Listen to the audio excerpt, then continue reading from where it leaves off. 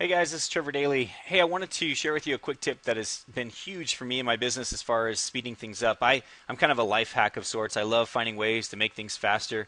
And um, the one that I want to share with you today is basically using Photo Mechanic as opposed to Lightroom to ingest or import your photos and then cull through them. And I can't tell you enough how quickly Photo Mechanic is compared to Lightroom. Now, for those of you who don't know about Photo Mechanic, it's basically a program that's used in um, the sports journalist world, for example, the sports photography, um, where they have to shoot and go in at halftime or right after the game and get those photos up to the wires as quickly as possible and caption them and you know and, and all that kind of good stuff. So, um, uh, thinking about that same idea, I'm basically applying it to wedding photography, and of course this could be for any any photos. Um, now, if you're importing, let's say 20, 30 photos in a Lightroom, probably not a big deal.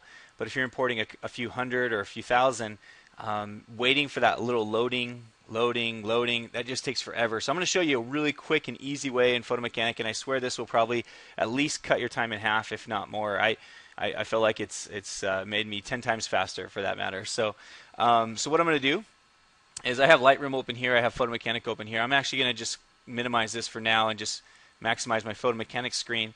But I just want to show you a couple things in Photo Mechanic that really are invaluable. And the first one is where I can ingest, when, when I say ingest, it's basically meaning import, when I can ingest multiple cards at once. So it's not just one card. So for example, if I come right up here and I say ingest, okay, now right here I'm going to go ahead and pop in a card into my computer and I actually have three card readers hooked up, and they're not they're not fast card readers. Um, they're just your kind of standard overall normal card readers. But I'm just going to click off that for a minute. So I'm going to hit rescan, and there it is, it pops up. Now, I'm not going to go through all the details of the ingest screen, guys, and I could do that on a future video. If this is popular and you guys, if you guys like it and you say, hey, I want to see more of that, I'd be happy to do that. But um, for now, I like to keep these pretty short, but I do want to just show a couple things. I always have my primary destination set. So what I'm going to do is I just imported some photos for my wife um, just off her normal camera. So I'm going to go back to my normal settings here. And you'll notice, see how everything's kind of dated. I have year, month, date, and then you know whatever it is I shot, and then the name. Um, this is my active folder. This is the things I'm, I'm editing or just finished editing. And that's how I want all my pictures to come in. I want them to be dated just like that, okay? So I'm gonna hit OK there. That's my that's my primary destination. My secondary destination, I always have it go to a backup. And you know what? It's already selected. I just had to turn it on. So it goes to my, my backup folder. Um, a lot of this stuff I'm not going to worry about. I am going to go over here to uh, what I want to rename these photos. So for example, if I want to give it a name, um, I'm just going to call this video tutorial for now. And I'm going to hit sequence. So it adds a sequence. And I'm going to set my sequence to be 0001. Now I always do in the thousands just in case I shoot over a thousand photos I want to make sure they stay in sequence. So I hit OK. And so there that's going to be my name. Video tutorial sequence 0001. Um, I do want to open my contact sheets during ingest and what's nice about that is I can actually start culling as the photos are still downloading. And then over here where it says folder name this is where I choose the year, the month, the date. This is where I show that organization. So every single picture that gets imported gets organized by that, by when I captured it. And then at the end, I'll always put like a heading. So I'll put like, you know, wedding, um, you know, Eric and Shannon or whatever. And you'll see right down here where it says primary destination, it shows my year, month, date, wedding, Eric Shannon, and then in my backup, the exact same thing. All right. Um, now for this one, I'm just going to put video to, uh, tutorial, just so I don't get myself confused later on. Now here's the beautiful part, guys. When I hit ingest, what's nice about it is now as that's ingesting, I can now put other cards in, okay? And these other cards, I can start ingesting these as well at the same time. And I can't tell you how much time this has saved. Let me just turn off this window stuff. I'm going to hit rescan here. And there it found my other two cards. And now I can keep everything the same. If it was the same wedding, for example, I can keep it all the same. I can hit ingest. And notice how it automatically tells me what sequence I'm going to start at. So I'm just going to hit ingest here. And now look, immediately it's putting them in different dates because these are different screens. This was from when I shot some photos of my uh, camera charger that I put an article uh, up on a blog. Um, here's some senior photos, but you can see each one's going in a different dated folder. Um, if this was a wedding, they would all go in the same one. Um, and you can see they're all getting renamed and, and, and, and put in their folder. So right here, immediately I can see under task, it shows all my ingesting happening. Once it finishes, it lets me know it's done and, and we're ready to rock and roll. So I can't tell you this. This is so it's a huge, huge time saver for me when I'm using, uh, when I'm ingesting or importing my cards. Now, the other thing that's beautiful about Photo Mechanic is I can immediately start culling my photos. Now, culling is basically going through and picking out the good ones and getting rid of the bad ones. I uh, don't like to just reject the bad ones. I like to just pick the good ones. So in other words, everything is rejected unless I've picked it. All right, that's that's kind of my my logic, the way I think through things. Um, now I'm just going to click on these, and I'll show you the great thing about Photo Mechanic. Oh, it keeps it keeps. I'm not sure if you guys can hear that noise, but as the ingests are complete, it, it lets me know that it's it's finished.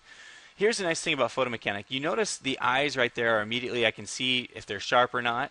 Now watch when I hit to the next photo. Immediately, same thing. Okay. Now the way I use Photo Mechanic is if there's a picture I like, I hit T, and when I hit T, you're going to see right up here there's a little thing, that, it, it, a little check mark. It tags the photo. Okay. Now I have it so it auto advances to the next one as well. So when I hit T, it auto advances. T, don't like that one. I like that one. Don't like that one. I like that one.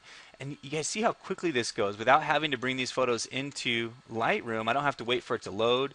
You'll notice here I, I, I focused on his eyes and her eyes are out of focus a little bit. So I actually changed my lens up and I brought out my uh, tilt shift lens. So right there I can see her eyes and his eye are both in focus there. There's a better example. Um, here we go back. I'm going to uncheck that one. I'll check this one. So again, you see how I can just go straight on through and immediately I can pick these photos without having to wait for any loading or anything like that in Lightroom. All right? So I can go through and pick a few more here. Now, once I've done that, once I've gone through and picked my photos, oh, and by the way, the, the way I get to this preview screen is when I'm in the contact sheet here, I just double click on a picture and it opens up this preview screen, which is a lot bigger image to look at. If I wanted to, I could look at these thumbnails by just making this bigger or smaller right here. Um, but I, I personally, I like that preview screen. I like going through it quickly that way.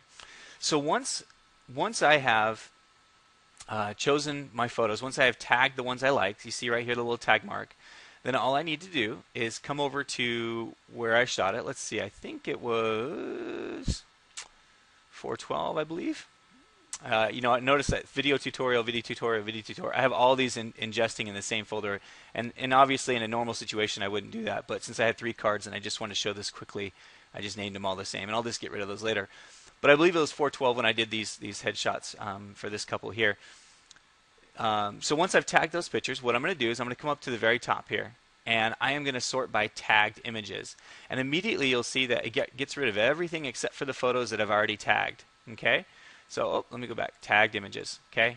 And I scroll down, and there's the ones you can see check marks on each one of these.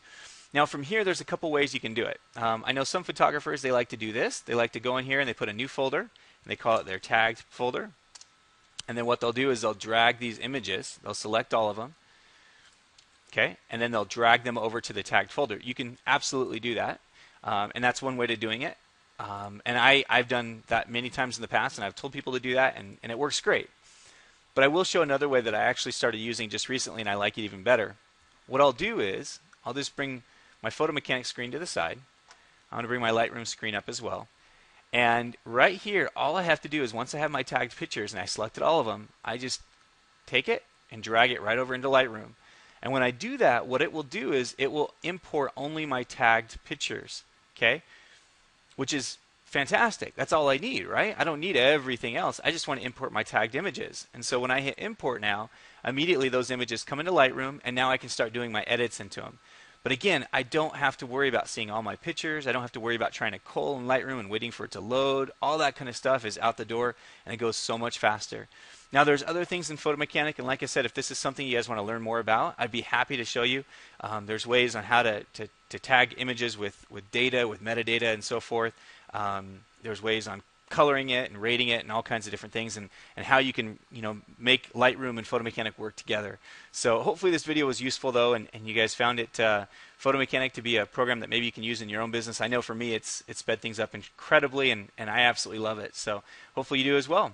Um, you can always go online and download. They have a free trial version you can try out and see if it works for you. It might look a little bit um, scary when you first open it. You might uh, see some of the boxes and not recognize them, but I promise with just a little bit of diving in, you'll notice that it's very, very easy to use. And, and uh, like I said, I absolutely love it. It's done wonders for my business. So you guys have a wonderful day. Again, my name is Trevor Dayley, and uh, make sure to subscribe to the video so you can see more in the future. Thanks, guys.